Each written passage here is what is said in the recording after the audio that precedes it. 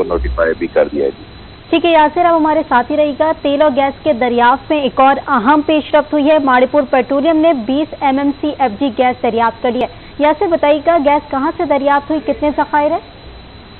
जी बिल्कुल। तेल और गैस की दरियाफ्त जो है इस हवाले से भी एक अहम पेशरफ है। माड़ी पेट्रोलियम ने जो बीस M M F C D जो गैस है वो दरियाफ्त की है और माड़ी पेट्रोलियम ने ये बारजेटल का एक कुआँ है उससे ये ड्रिलिंग के दौरान दरियाफ्त की गई है। इसमें जदीद टेक्नोलॉजी जो है वो इस्तेमाल की गई और जो ड्रिलिंग के बाद अब बाकायदा तौर पर माड़ी पेट्रोलियम की जो तर्जमान है उनकी तरफ़ से बताया गया है कि नई गैस सिस्टम में अब शामिल होना जो है वो शुरू हो गई है। माड़ी पेट्रोलियम ने पाँच साल में कौमी खजाने में ये भी बताया कि ठीक है बहुत शुक्रिया यासिन तमाम तर तफसलात का।